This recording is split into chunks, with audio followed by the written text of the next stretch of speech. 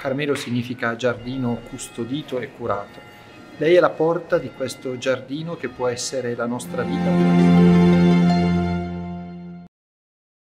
Maria è sempre raffigurata come regina in cielo, sulle nuvole tra gli angeli.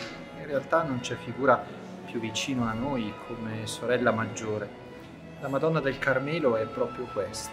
Carmelo significa giardino custodito e curato.